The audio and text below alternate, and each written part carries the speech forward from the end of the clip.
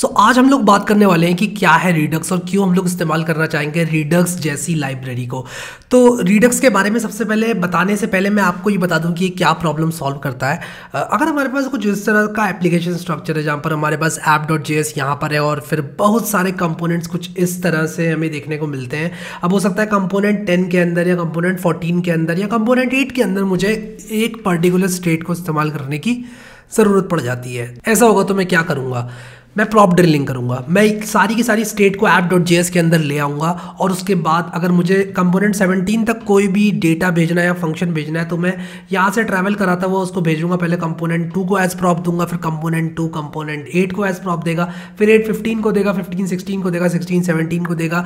ये डेवलपमेंट में एक बहुत ज़्यादा पेन तो लेकर आएगी आएगी। उसी के साथ साथ जो एप्लीकेशन का मैनेजमेंट है वो बहुत ख़राब हो जाएगा। इस प्रॉब्लम को सॉल्व करने के लिए हमने कॉन्टेक्स्ट एपीआई नाम की एक चीज़ देखी थी बट हमारे पास एक रीडक्स नाम की लाइब्रेरी है जो कि स्टेट मैनेज करने में हमारी मदद करती है। तो स्टेट मैनेजमेंट का एक कस्टम सॉल्यूशन, एक एक्सटर्नल लाइब्रेरी सॉल्यूशन है हमारा रीडक्स तो हम लोग क्या करते हैं यहाँ पर?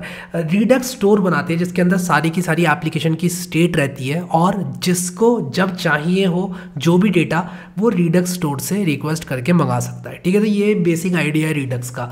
अब यहाँ पर हम कुछ टर्मिनोलॉजीज देखेंगे वाई रिडक्स देखेंगे कि भाई क्यों यूज़ करें रिडक्स तो जब एप्लीकेशन का साइज़ बड़ा हो जाता है, तब क्या होता है कि it becomes difficult for the user to manage it state ठीक है? एप्लीकेशन की स्टेट जो है, वो यूज़र को दिक्कत होती है मैनेज करने में। जैसे कि मैंने अभी आप लोग को बताया रीडक्स क्या करेगा? इस प्रॉब्लम को सॉल्व करेगा एक ग्लोबल ऑब्जेक्ट बनाकर, जो कि कोई भी कंपोनेंट चाहे वो कितना ही डीप क्यों ना हो हायरार्की में, वो यूज़ कर सकता है इस स्टोर को। ठीक है?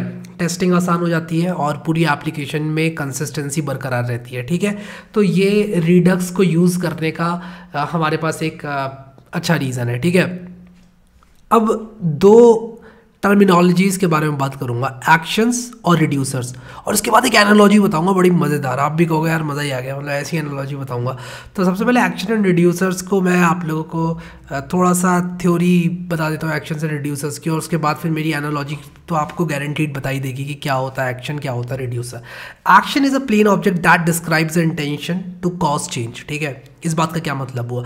मान लो आई नोटबुक नाम की एक एप्लीकेशन हम लोग बना रहे हैं, जिसमें बहुत सारे नोट्स हैं, और कौन कौन से नोट्स किस यूज़र के करस्पॉन्डिंग हैं, ये मुझे चेंज करना है। यानी कि एक पर्टिकुलर यूज़र के करस्पॉन्डिंग अगर चार नोट्स हैं तो मुझे उन चार नोट्स को पाँच नोट्स करना है, यानी कि मुझे नोट्स को चेंज करना है। तो मैं क्या करूँगा? एक एक्शन यहाँ पर लेकर आऊँगा और कहूँगा ऐड नोट उस एक्शन का नाम होगा ऐड नोट और मैं एक नया ऐड करके नोट अपना नोट्स एरे को चेंज कर दूँगा, ठीक है?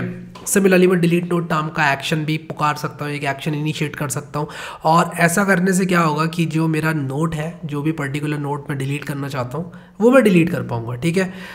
अब हम लोग बात करेंगे यहाँ पर रिड्यूसर की, कि ये रिड्यूसर क्या होता है? तो एक्शन तो आपको पता चल गया कि कोई भी अगर मुझे काम करना है, इसे ऐड करना है नोट को डिलीट करना है नोट को, या फिर अपडेट भी करना है अगर नोट को तो भी मैं एक्शन जो है एक्शन को एज अपडेट और स्टेट को चेंज करवा सकता हूँ। और ये चीज़ें मैं आगे बताऊँगा आपको, अभी अच्छे से समझ में नहीं आएँगे सिर्फ़ थ्योरी सुनकर, बस एक्शन का मतलब ये समझ लो कि कोई भी क्रिया, ठीक है? कोई भी एक ऐसी क्रिया जो कि मेरे एप्लीकेशन की स्टेट को बदलेगी, ठीक है?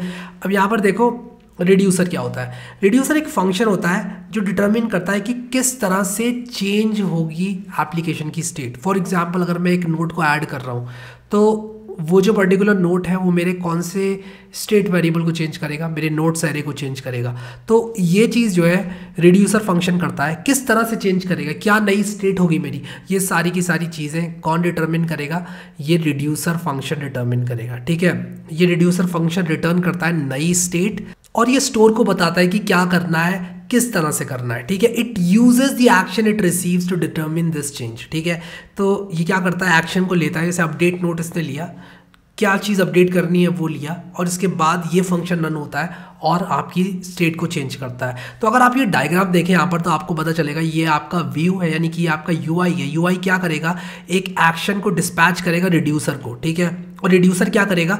रिड्यूसर स्टोर में जो मेरा स्टेट वेरिएबल है, उसको चेंज कर देगा। और ये जो स्टोर है, ये व्यू से ऑलरेडी कनेक्टेड है। तो जो भी चेंज होंगे स्टोर में, वो यहाँ पर व्यू पे ऑटोमेटिकली रिफ्लेक्ट हो जाएँगे। इसका प्रैक्टिकल भी हम लोग देखेंगे। लेकिन, जैसे कि मैंने आप लोगों से वादा किया था, एक बहुत ही मज़ेदार एनालॉजी एक्शन एंड रिड्यूसर्स की, ठीक है? सुनना ध्यान से मज़ा आएगा आप लोगों को भी। मान लो ये बच्चा है, ठीक है? ये बच्चा है और अब आपको है कि जो मम्मी पापा होते हैं, वो जब बच्चा छोटा होता है तो वही करते हैं जो बच्चा बोलता है। बच्चा बोलता है कि मुझे टॉफ़ी दिला दो तो मम्मी पापा दिला देते हैं। बच्चा है यार छोटा, ठीक है देखो कितना क्यूट है ये वाला तो समझ रहे हो? तो क्या होगा कि एक बच्चा कुछ भी बोलेगा तो मम्मी पापा को बात माननी पड़ेगी, यार उनका बच्चा है, ठीक है, वो खुश भी रखना है बच्चे को। तो यहाँ पर जो बच्चा है उसको आप यूआई की तरह समझ लो, ठीक है? ये बताएगा कि मुझे क्या चाहिए। मान लो इस बच्चे ने बोला कि मुझे बैट बॉल चाहिए, ठीक है? क्या चाहिए? बैट बॉल चाहिए। तो ये जो मम्मी पापा सुनेंगे, कहेंगे अच्छा इसको बैट बॉल चाहिए। तो अब हमें क्या करना पड़ेगा? हमें एक एक्शन इनिशिएट करना पड़ेगा। अब मम्मी पापा दोनों बिज़ी हैं। अभी देखो इतनी मुश्किल से शायद लंच ब्रेक पे मिले हैं खाना खाने के लिए भी। तो दोनों अपने अपने काम में बिज़ी हैं, ठीक है? तो ये क्या करेंगे? ये खुद जाकर नहीं लाएँगे बैट बॉल बच्चे के लिए। ये करेंगे क्या? एक एक्शन क्रिएट करेंगे। तो इनको मैं एक्शन क्रिएटर भी कह सकता हूँ। ये एक्शन क्रिएटर है। ये एक एक्शन क्रिएट करेंगे। ये एक व्हाट्सएप मैसेज टाइप करेंगे ब्रिंग ठीक है? एक मैसेज टाइप करेंगे व्हाट्सएप पर, जिसका टाइप होगा ब्रिंग और पेलोड होगा वन बॉल प्लस बैट ठीक है?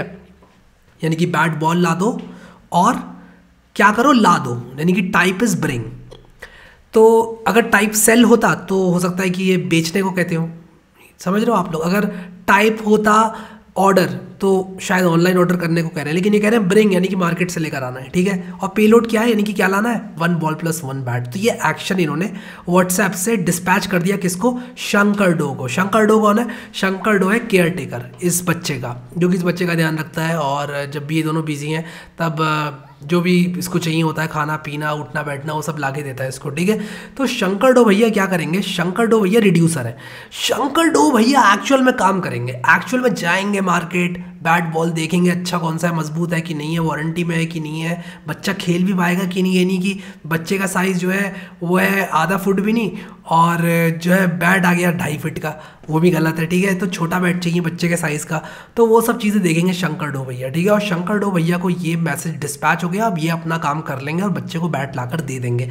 तो इस पूरे एग्ज़ाम्पल में एक्शन क्या हुआ? एक्शन ये था।